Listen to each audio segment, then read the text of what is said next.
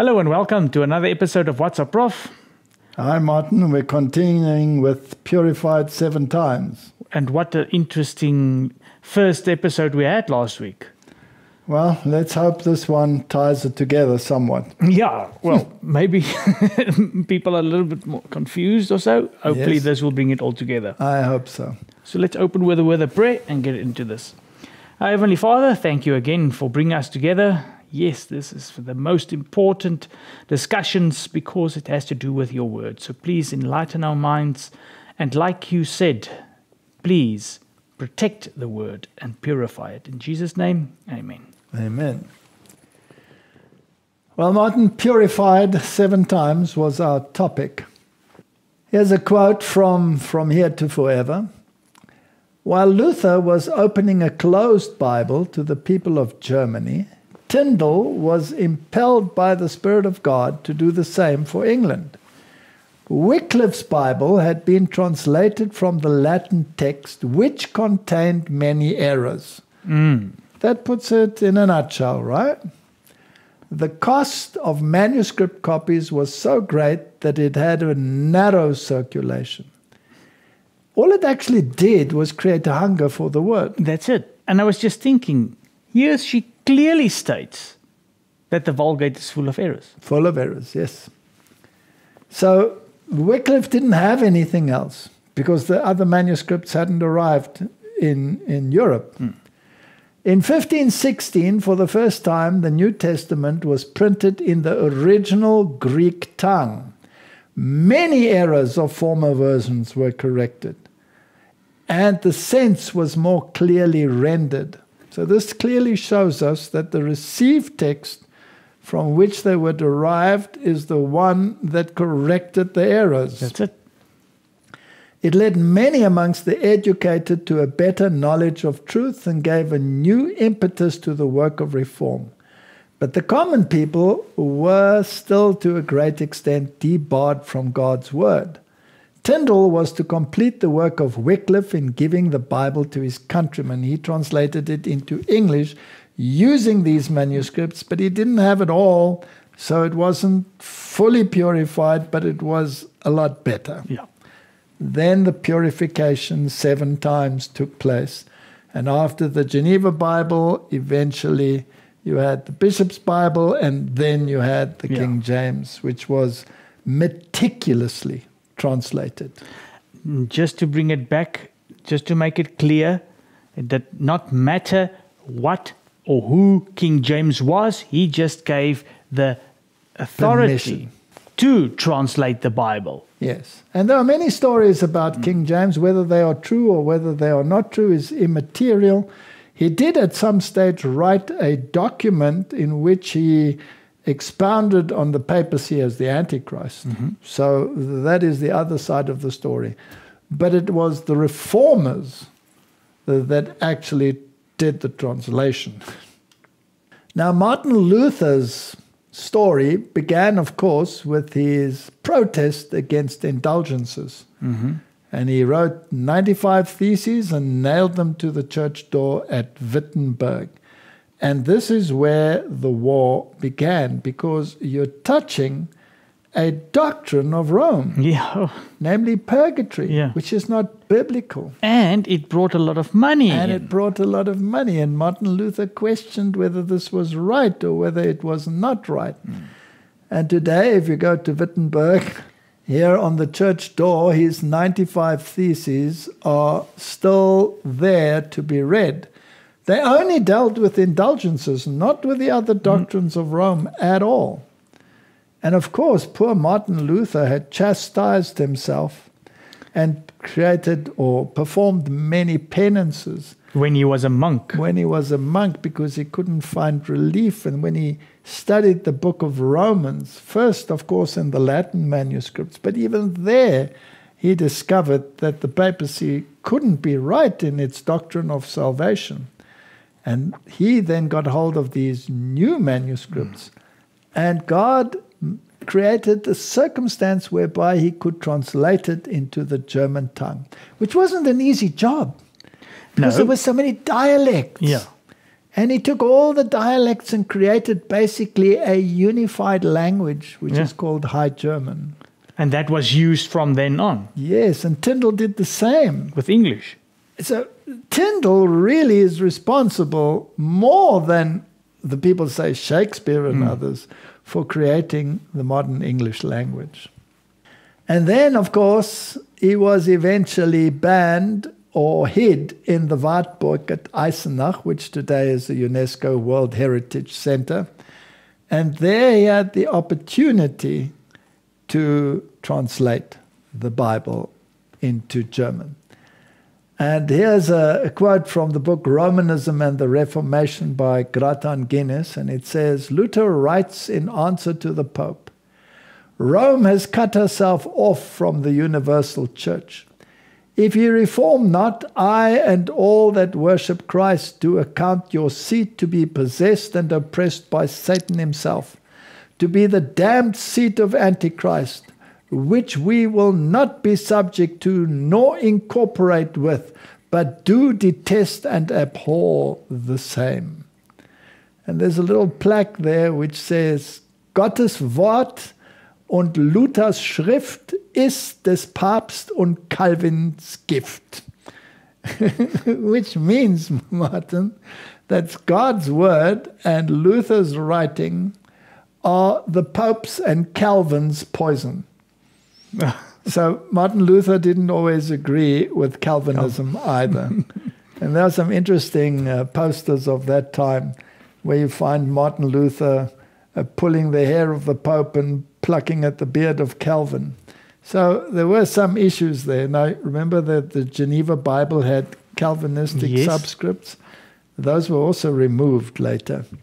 In the King James Version. Yes. Yeah. Now, Martin, it's possible to have a true and a false gospel, right? It's a promise, actually. It says in the word that will there will be false Christs Yes. bringing false gospels. Revelation 14, 6, and I saw an, another angel flying in the midst of heaven, having the everlasting gospel to preach unto them that dwell on the earth and to every nation and kindred, tongue, and people. So, if we're at the end, the everlasting gospel must be preached again to humanity, It has already been done. uh, then it means that it, it was sort of lost and had to be uh, repreached, but you need the right word of God in order to do that. 2 Corinthians 11:4 warned us, For if he that cometh preaches another Jesus, whom we have not preached, or if you receive another spirit which we have not received, or another gospel which we have not accepted, you might as well bear with him. So what he's saying, it's possible to preach another Jesus, one that didn't die for you. Mm. It's possible to receive another spirit that says you don't have to repent Yeah. because the true spirit will convict you of sin. It's possible to receive another gospel where you are saved by works and not by the righteousness of Christ. Is that right? Yeah. So Galatians 1 verse 6 says, I marvel that you are so soon removed from him that called you into the grace of Christ unto another gospel. Is it possible to preach salvation by works rather than salvation by the imputed and imparted righteousness of Christ? Oh, for sure. And it can happen easily because Yes. it says, yeah, he marvels at how soon it happened to them. Yes. Verse 7 says, Which is not another, but there be some that trouble you and would pervert the gospel of Christ. It happened in his days. Yeah. So, how much more later? So, let's just go through that Alexandrian stream. Mm. The left. The one that's on the left and on the right, the one that is the groundwork for papal doctrine. Mm. Well, there was a school in Alexandria. It was an arcane school. You could almost call it an occult school of Gnostics. Yeah. And one of the leading figures there was Origen. And he lived from 185 to 253 after Christ. Now, Origen, being a Gnostic, uh, perverted the scriptures Yeah. and he changed the wording so that Christ would not be as divine as the scriptures pointed him out to be. So you made him a little bit less. Yes. Mm-hmm. And from early on, there were altercations where people called him an apostate. And of course, you had the stream that went through Antioch and Syria, the Syrian stream, and the Peshitta Bible, for example, which was the received text. And here are these manuscripts which have many Gnostic changes. So that is making Christ a created being. Making him less than what he is. Okay. Yes. And from that stream, we jump to 260 to 340 in the time of Constantine, Mm-hmm. where the Roman emperor adopted a form of Christianity. Mm-hmm. But his coin had Mithra on the one side and the cross on the other side. And he was associated with Eusebius of Caesarea. Now, Eusebius was a bishop, Mm-hmm. and Constantine instructed him to create an ecumenical Bible which would bring the heathen into Christianity. So it was a compromised Bible, if you like. And uh, to call it an ecumenical Bible is probably correct. Now, Eusebius was a follower of Origen. Yeah. So he put together a number of manuscripts, and eventually there were about 50 of these manuscripts. Mm-hmm. And two of the remaining ones are probably associated with the Vaticanus and the Sinaiticus. Now, the next step was Jerome. Hmm. Jerome was a follower of Origen. Yeah. So he also had these leanings. And he took these manuscripts, probably from Eusebius, and translated the original Greek into Latin. That is the Vulgate Mm-hmm. that the papacy declared infallible and made the standard for Roman doctrine. Okay. The Vulgate is the one that says that Mary crushes the head of the serpent. Okay. That. mhm. Yes, and not Christ. And many, many changes that are in line with Catholic theology rather than Protestant theology. Then you had the Ottoman Empire and then the Turks that invaded uh, the West and invaded first, of course, the Greeks. Mhm. And the Greek scholars, with their Greek manuscripts of the received text Yeah. that came via the Antioch and uh, Syrian line through to the West via these scholars. And Erasmus of Rotterdam, a Roman Catholic bishop, just took the manuscripts and put them into order. And this was called then the, the received text. He made the copies of the Greek New Testament. Okay. Now, Erasmus never became a Protestant. He was very close to becoming a Protestant. He stayed a Catholic and was even offered to be a cardinal, but he refused. So he was a he was a bit of a fence sitter. Yeah. Yeah. Yeah, he was a bit of a fence sitter. But he never he never wrote the documents. He merely put them together as they came across from Yeah. these Greek scholars. And these documents were then used by Martin Luther to translate the New hmm. Testament into German based on the original Greek. Now, Martin, between the time of Erasmus and the writing of the New Testament into the normal tongue, German, and by Tyndale into English, we fast forward to the time of Tischendorf, who lived from 1815 to 1874. Now, what is interesting uh, that the Roman Catholics, in order to counter the Bible of the Reformation, Yes. uh, the Jesuits came together and they wrote the Douay Bible Yeah.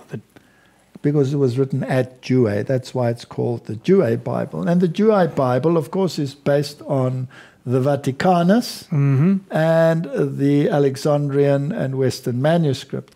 That was to counter uh, the Bible of the Reformation, which was basically the King James by that time, and the German Luther Bible, and any translation that came out of the Protestant pens. Yeah, of, and out of the of the received text. Out of the received text.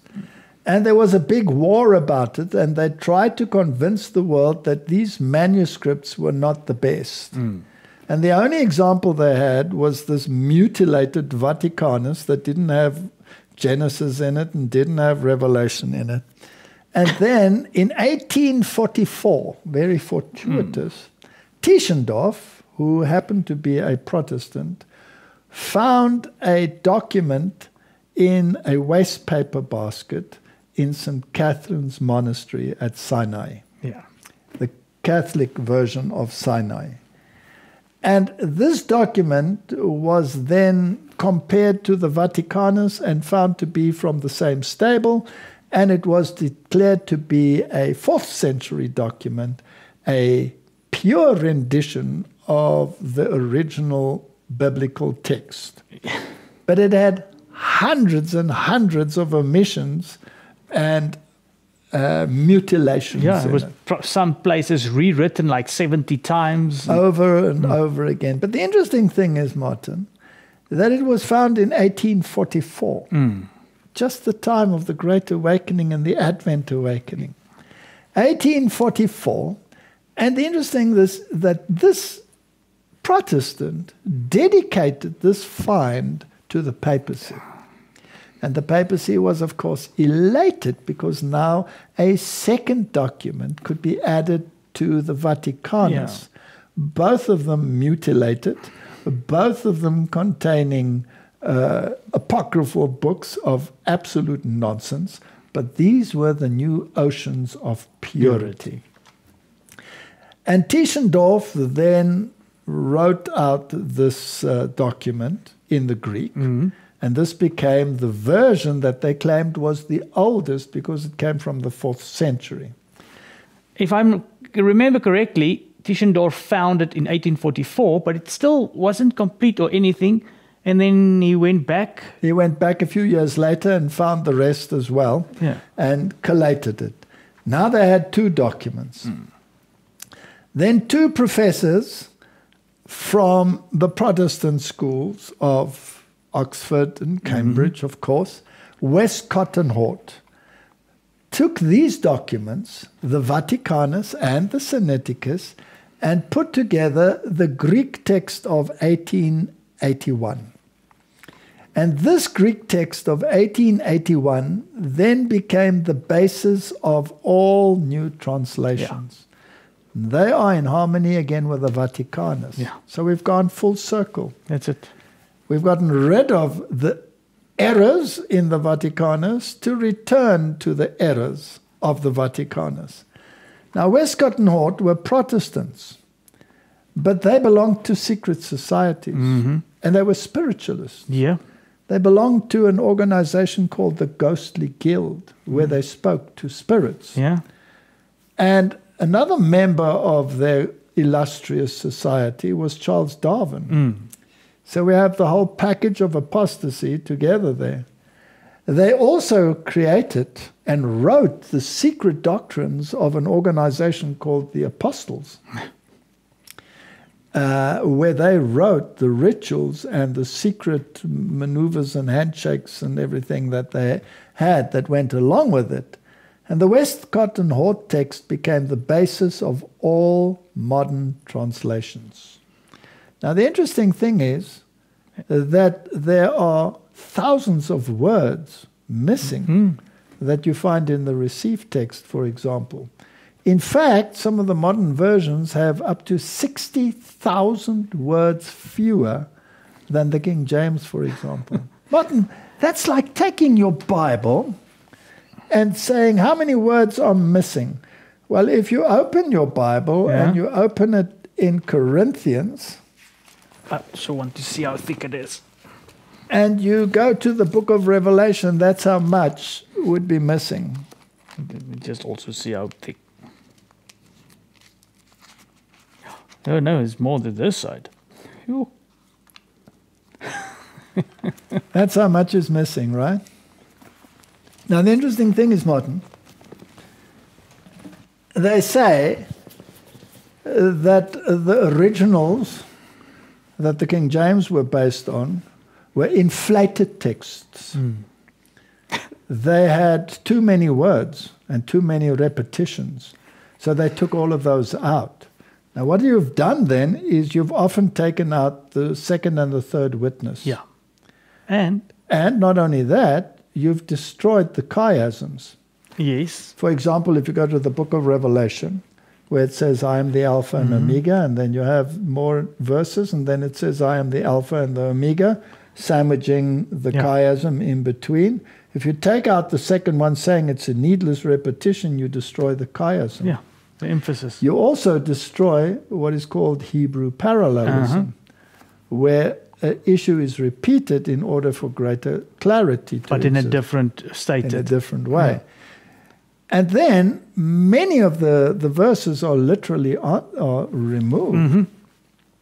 And Christ becomes less than he is. Exactly. And verses are introduced which introduce the immortality of the soul. Mm-hmm. Verses are introduced which remove repentance so that it fits Catholic doctrine. Yeah. So the Westcott and Hort text, written by these occultists and these secret society members, which claimed that Mariology hmm. was pristine. In other words, that's a Catholic sentiment. That's why they could rather have just taken the Vulgate and they Yes. wouldn't have had to do so much work. And they were Darwinists. they negated the first books of the Bible, so they became higher critics. So these individuals, as far as many, many people is concerned, and myself mm-hmm. included, as far as I'm concerned, were Jesuits in disguise. yeah. And I think Tischendorf. Papal agents at the best and Jesuits at worst. That's it. And I think Tischendorf was the, also part of that. And Tischendorf was part of the same game. Now, Martin, if the Bible says man does not live by bread alone, but by every word that proceeds out of the Well, you mouth just- of the Lord, you just took the words out of my mouth now. would you like 60,000 words to be gone? And Martin, if two verses say the exact opposite, yeah. like Job saying, In my flesh I shall see God, and the new translation saying, In Without. without my flesh I will see God. They can't both be the word of God. No. One of them must be spurious. If the new translation says heavenly beings had sexual relations with humanity, and the received text says that those that followed God, the, the children of God, saw that the children of men, the apostate line from Cain, they mm-hmm. intermingled. So, Martin, if you have two lines, and the one says, In my flesh I shall see God, the received text, and the other one says, Without my flesh I shall see God, then you have a choice because they can't both be right. No. And uh, if the new translations remove the deity of Christ in many, many places and make him the servant rather than the son, then that is pretty problematic. That probably has Gnostic influence attached to it. So, all of these issues together, together with the fact that they were higher critics, tells me that uh, there is something wrong with it. And they admit in the translations of the new ones that they are busy with an eclectic text. Explain that as well. That means that the text is ever changing. But God said that His word Yeah. stands and that you mustn't add to it and you mustn't subtract to it. So, how can it be an ever changing word? Exactly. There's actually a curse on anybody that does that. Correct. Moreover, the modern versions are what we call dynamic equivalent versions. Mm. Now, what is a dynamic equivalent? It means that it is ever changing and that it is like what God said, but it is filtered through the mind of a theologian. In other words, it is an expose of what the theologian thinks God was saying. So it's based on his theology. Yeah. Now, uh, the King James took that even out of the footnotes of the Geneva Bible, Yeah. but here it's all the way back. So it's not what God said. It's not a direct translation. It's what people think that God said. So you get to ridiculous situations where Jesus declares all c- foods clean when the original text doesn't say that at all. So the Bible contradicts itself. Mm, mm. So these are all issues that need to be addressed and to be studied. So let's just continue this. I just want to say if there is a modern translation that says it's a direct translation, you have to look from which manuscripts. Of course, even if it is a direct translation, if it comes from these manuscripts, which come from the Catholic line, then you have to ask yourself is this the Word of God? Yeah, and obviously we've seen it cannot be. It cannot be. So, whose, in whose interest is it to change the theology? Which organization has a different theology? Rome has. That's it. It has a different system of salvation. And if it wants to sell its system of salvation, how much better to change the Word of God? If you take it, they wanted to get rid of the word of God. That's why for 1,260 years you couldn't, you, sh- you weren't allowed to read your Bible. Right. And then when the King James call, came out, they called it that poisonous asp. Exactly.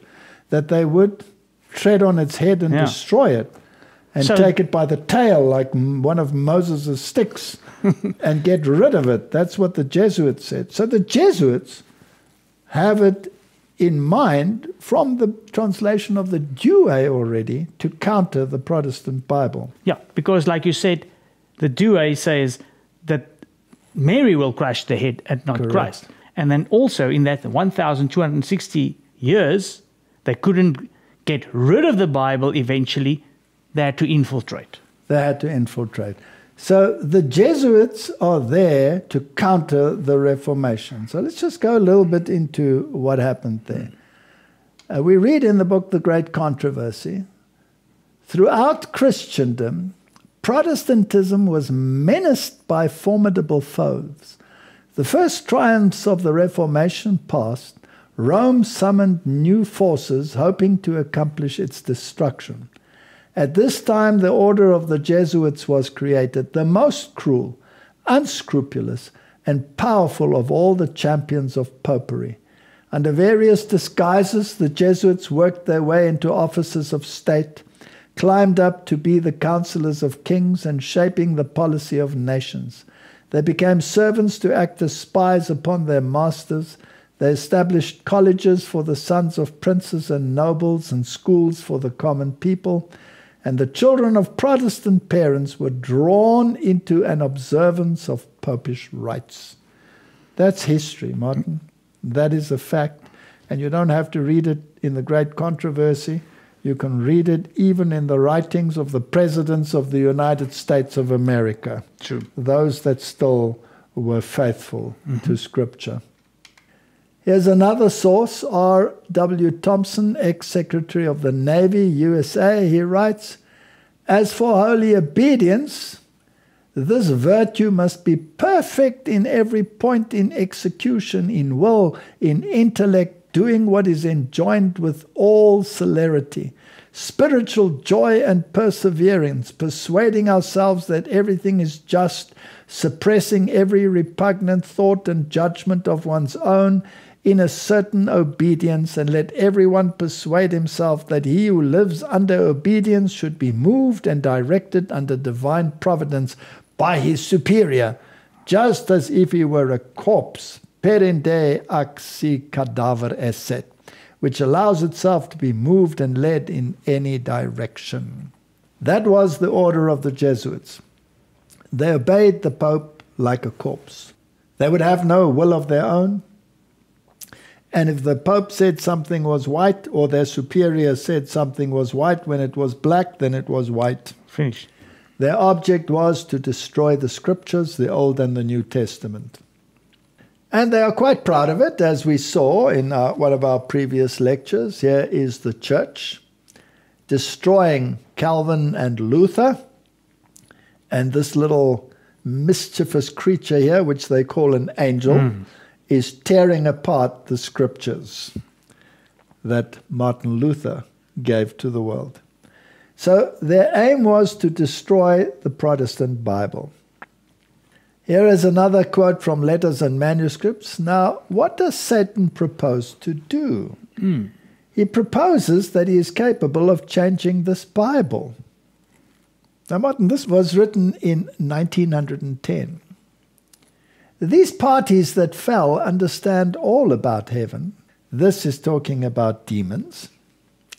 And they can bring in the different sentiments from the Bible, and they're going to have a revision of it. Hmm. Interesting, written in 1910. You will see that they will make a revisions of the Bible, but every one of us needs to stand intelligently on the Word. We cannot afford to be careless, but we must have that simplicity of godliness that is a virtue to us. We must have it. Now, this author Mm-hmm. was exposed to some of the early mm, new manuscripts, like the Revised Version. And she used it sometimes when it was not doctrinal in Yes. nature. When it was doctrinal in nature, she always used the King James Version. Yes. But in any sermon, she never deviated from the King James. And the more she wrote and the closer she came to her end of her life, she never used them anymore. That's true. Here's another document from 1906. Do you desire to destroy the covenant between yourselves and your God? A perpetual covenant means just what it says it is a sign between me and the children of Israel forever. God declares, For in six days the Lord made the heaven, the earth, and on the seventh day he rested and was refreshed. This is our evidence. You will see ere long that there will be those who will become weary of hearing repeated the things that they ought to do, but do not desire to do. And they will change the wording of the Bible, written in 1906. We know what the Lord says in Revelation about those, those who do that. A perpetual covenant is a perpetual covenant. They will change the Bible. She was using the King James Bible. Yes. And like you said, for doctrinal purposes, you can search right through the writings. Yes. Uh, There, in fact, are you can search it when there's um, disputes on certain verses, like we've mentioned uh, Genesis six verse twelve, where the modern translations um, say that the heavenly beings came. If you do go through the writings of the spirit of prophecy, it's clearly stating that that was the line of Cain and not heavenly beings. Yes. And not only that, Martin, if a verse is missing in the new translations, which is many times the case, sometimes she wrote whole paragraphs or chapters on the missing verses. True. So obviously she didn't use those to write about the missing verses. Yeah.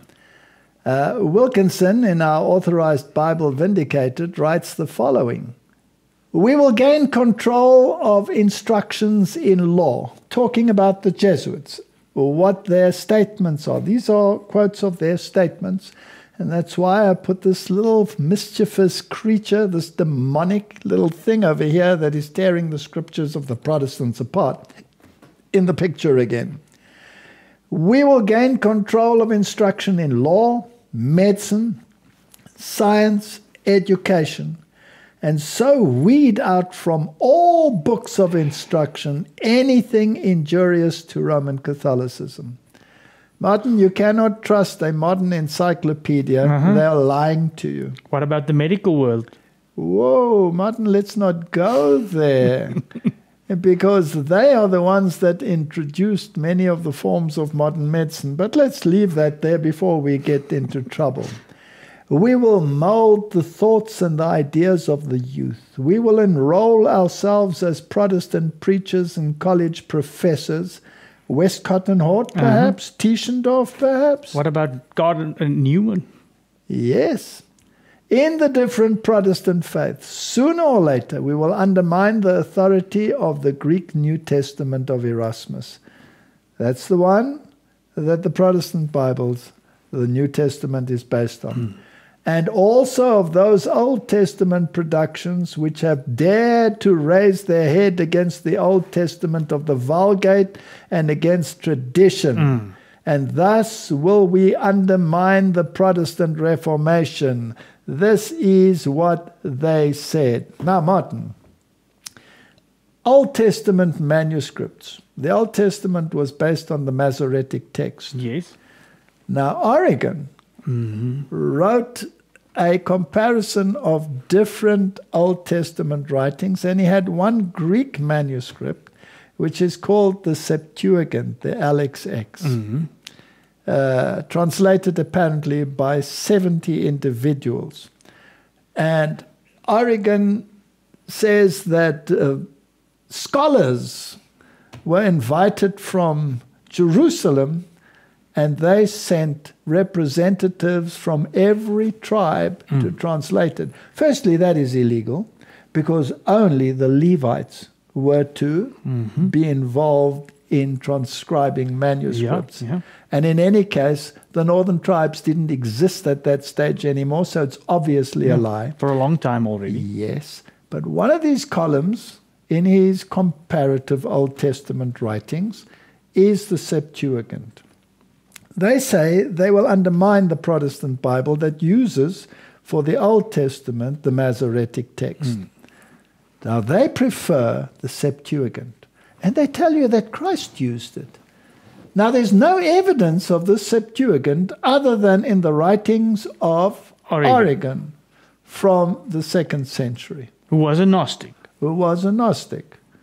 And if you take that one at its word, then Martin, we can conclude that Methuselah was a very strong swimmer Correct. because he survived the flood by some 14 years. And the only way, if we want to believe that, is that he must have been swimming for 14 years to survive the flood because he wasn't in the ark.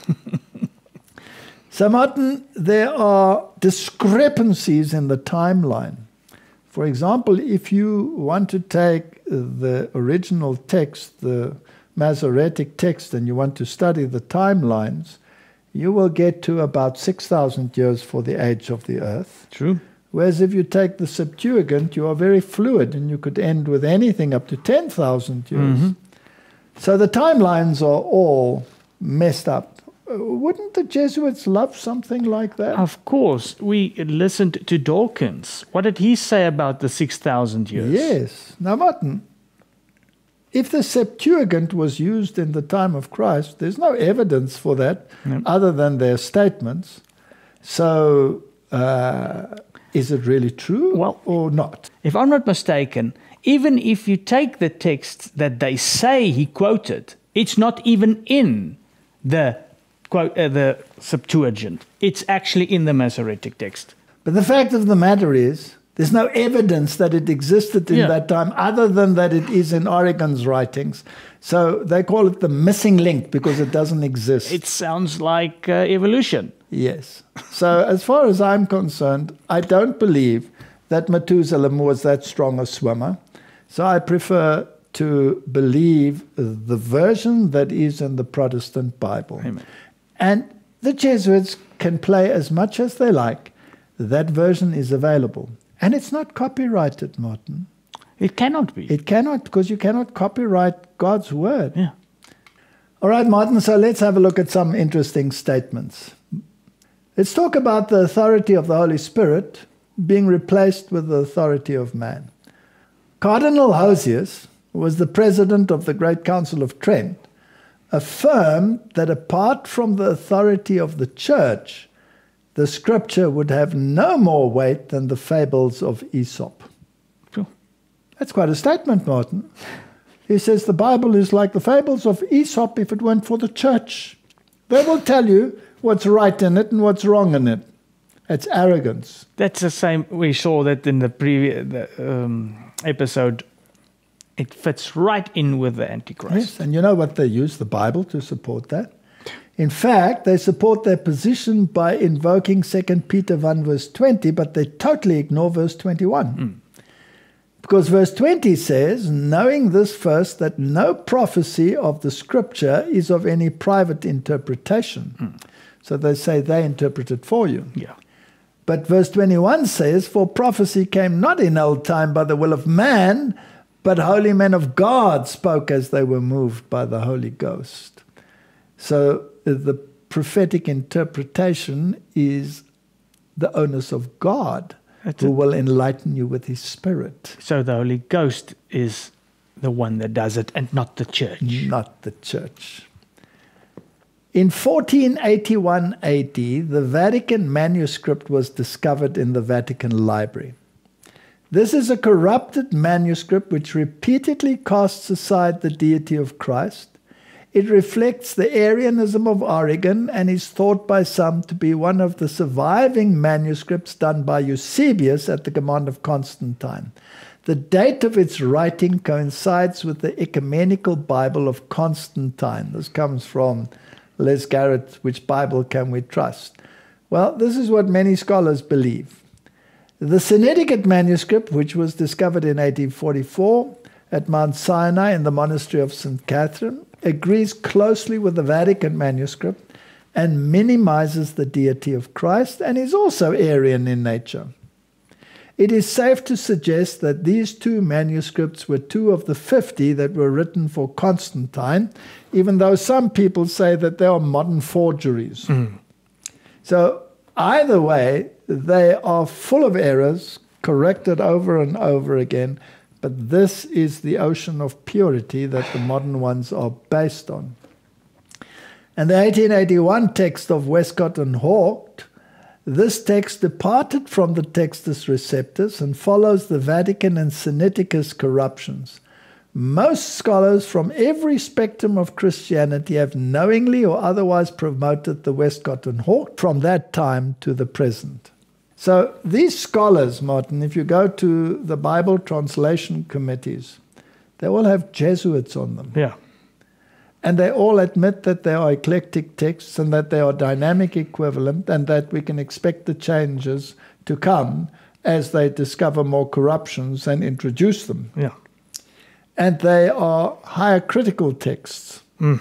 So, Martin, is this the Word of God or is this something else? No, it's, it's definitely something else. As Garrett writes, who but those with Roman Catholic sympathies could ever be pleased with the notion that God preserved the true New Testament text in secret for almost 1,000 years and then finally handed it over to the Roman pontiff for safekeeping? That's a very good question, Isn't that a good question? for sure. Makes no sense whatsoever.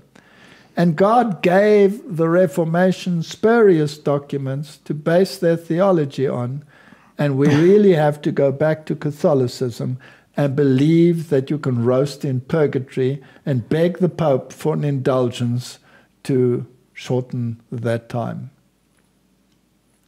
So, Westcott and Hort, these two gentlemen, were they true Protestants or were they Jesuit infiltrators? If you read their own writings, I think they were definitely Jesuit. They were Catholic through and through. Mariology, higher criticism, their job was to denigrate the scriptures, to drag them through the mud. Mm. They were evolutionists, they didn't believe the word of God, but they claimed that the Vaticanus mm. and the Sinaiticus were oceans of purity. They were oceans of mud, for sure. as far as I was concerned. They were spiritists, so they were in communication with demons. Yes, often. they even describe how they were were frightened when the thing started rattling and moving around in one of their spiritualistic meetings. They were in communion with demons. Mm-hmm. Uh, these people. So let's wrap this up.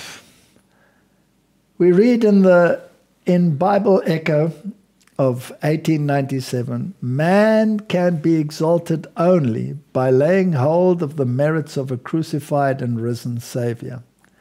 The finest intellect, the most exalted position will not secure heaven. Martin, you cannot bypass repentance and accepting the righteousness of Christ. You cannot bypass obedience to God's requirements. You cannot replace repentance with penance No. and then do the same thing over and over again. Satan had the highest education that could be obtained. This education he received under the greatest of all teachers. That was when he was in heaven. When men talk of higher criticism, when they pass their judgments upon the Word of God, call their attention to the fact that they have forgotten who was the first and wisest critic, namely the devil, Mm, right? mm. He has had thousands of years of practical experience. He it is who teaches the so called higher critics of the world today. God will punish all those who, as higher critics, exalt themselves and criticize God's holy word. Powerful statement. Maybe it's a good warning that I think people must take note of. Letters and manuscripts, it is the mind and character of the persons who study the scriptures that makes the study dangerous. Mm. The difficulties will be removed from the way of those who search the scripture with earnest, humble hearts, praying to the Lord for wisdom, not asking the church to clarify it for you. No. There's to be no cutting out of scriptures. No. No removing 60,000 words. No removing whole texts and mutilating others. No mutilating the word as Catholics have done. Ah, so who's behind it? What's behind it? Who's involved? The Bible is to be searched as a whole. The thing in it hard to be understood will become plain through the enlightenment of the Holy Spirit. This is the way to study the scriptures. Now, modern people say the King James is too hard to read with all this thee, thou, Mm. thine, etc., etc. Now, even in the time of King James, that was not the common language anymore. No. Everything was you. Yeah. But they decided to leave it there for the sake of clarity. That's The it. Bible is also a covenant, it's a legal document. That's the second portion. And as a legal document, it has to have legal writing. It has to be very specific as to who is being addressed. Mhm. Now, when there's a T involved, like in thee, thine, thou, then it is addressing the individual. When there is a Y involved, like in ye and your and you, it is addressing it in the plural. The only the case difference, whether it's nominative, accusative, or dative, the case differs. But it's very specific. Let me give you an example. Jesus is talking to Nicodemus. He says, Verily, verily, I say unto thee. Who is he addressing? Nicodemus. Nicodemus. T, thee, the person itself, singular. Ye Mhm. must be born again. Not thou must be No. born again. Ye. Yeah. That means everybody must be born again. So it's very precise. And once you get used to it, you can almost not read the modern ones because you don't know who it is referring to in particular. So if you do that same sentence in the normal talk today, Verily, verily, I say unto you, you must be born again. Yeah. It's gone. yeah. It's gone. So the Bible has to be searched as a whole. The thing in it hard to be understood will become plain through the enlightenment of the Holy Spirit. So you have to approach your Bible prayerfully. And once you get used to a received text Bible, now I'm not a King James only man, but the King James is based on the received text, purified seven, times. The Luther Bible is based on the received text. The Schlachter Bible in German is based on the received text. Uh, The Old Afrikaans version, like the 3353 version, that is based on the received text. It's the modern ones Mm. that have the verses missing and have angels mutilating humanity and all such nonsense in them. So we must decide what do we want to read. So let's leave that decision to everyone. But as for me and my house, sure. if I want to know what did God say, and not did what did the theologian think he said, and if I want to read every word that proceeds out of the mouth of the Lord, then I will grab a Bible that comes out of the stable of Protestants, where Christ is exalted as the Savior of the world, the Redeemer who will clothe us with his righteousness. Yes. I am with you. My house is also standing on that side. So let's pray. Heavenly Father, thank you that we have a pure, purified seven times Bible at our disposal. Help us to make use of it, to understand the times we are living in, to understand the prophecies, to understand the plan of salvation, that we do not get trapped into spurious doctrines like purgatory, etc., but that we understand that our salvation lies in the only one who has the power to save, because he has life within himself, our Lord and Savior, Jesus Christ. That is my prayer in Jesus' name. Amen.